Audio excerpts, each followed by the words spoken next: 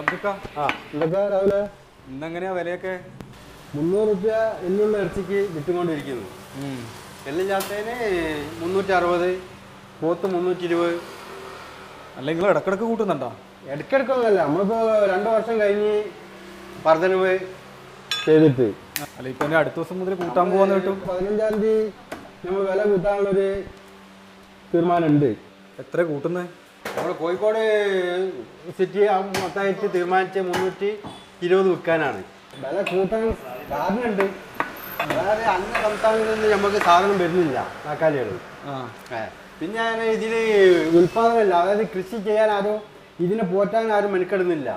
അതായത് ഇതിൽ ഗവൺമെന്റ് തലത്തിൽ അതായത് കേന്ദ്രത്തിൽ നിന്ന് കിട്ടേണ്ട സഹായങ്ങളൊക്കെ ഇതിനെ കൊണ്ട് നിന്ന് എടുക്കുകയാണ് നാനൂറ് റുപ്യ ഇപ്പം വിറ്റുകൊണ്ട് നിൽക്കണത് ഒരു വൈക്കോൽ കെട്ടിന്.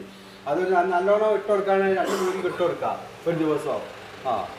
ഇതിലൊക്കെ നല്ല സംഭവം തന്നെയാണ് വേറെ ഒരു കാര്യം കൂടി ഉണ്ട് കേട്ടോ ഇതിൽ അതായത് ഒരു രണ്ട് കൊല്ലം മുന്നൊക്കെ തോലിന് ആയിരം റുപ്യ ട്ടോ- കിട്ടിയ സംഭവമുണ്ട്. അത് കോവിഡ് വന്നിട്ട് പോലും ഇപ്പോൾ ഇതിൽ നിൽക്കുന്നത് മുന്നൂറ് റുപ്യാണ് തോലിന്റെ വില. ആ തോലിന്റെ വില. എഴുന്നൂറ് റുപ്യ കുറഞ്ഞു. എല്ല്. എല്ലിന് വില കുറഞ്ഞു. അതല്ലപ്പോ നിങ്ങൾ വാങ്ങിയിട്ട് നിങ്ങൾ കൂട്ടുന്ന മാത്രമല്ലല്ലോ ഇവിടുന്ന് കൂടി നിങ്ങളടുത്ത് വാങ്ങിക്കൊണ്ടുപോയ ഹോട്ടലിലും കൂടും. ഹോട്ടലിൽ കൂടും. ആ. എന്താ ചെയ്യാ? ഏ? എന്നാ പിന്നെ കൂടുതൽ വർത്താനൊന്നും വേണ്ട അല്ലേ? എനക്ക് എല്ലില്ലാത്ത ഒന്ന്. നമുക്ക് ഫ്രൈ ആക്കാൻ വേണ്ടി വെട്ടാ. ഓ. പോരെ? മതി. ഏ? ആ.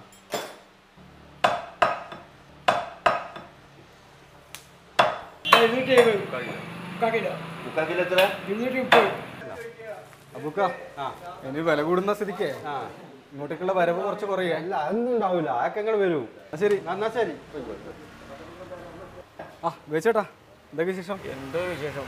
ഇന്നിപ്പോ എന്താ വീട്ടിൽ സ്പെഷ്യൽ? വീട്ടിലിപ്പം ഇന്നിപ്പം പ്രത്യേകമൊന്നുമില്ല. ഇറച്ചി വാങ്ങിക്കുക. എല്ലാ ഇതിനൊക്കെ ഇപ്പം വില കൂട്ടാൻ പോവാന്ന് പറഞ്ഞു കേട്ടു. ആ ആ. അടുത്ത ആഴ്ച മുതൽ അതെ അതെ. ഇരുപത് റുപ്യ വീതം. കഴിക്കുന്ന ആൾക്കാർക്ക് ഇത് മേടിച്ചായിരിക്കാൻ പറ്റില്ലല്ലോ. വില കൂടിയാൽ വില കൂട്ടിയ വില കൂട്ടി കൊടുക്കുക എന്നുള്ളത് വേറെ വഴിയില്ല. കൂടിയ വിലക്കാണെങ്കിൽ കൂടി വിലയ്ക്ക്. അപ്പൊ ശരി. ശരി okay. Arun കിഷോറിനൊപ്പം Rahul K V Mathrubhumi news Kozhikode.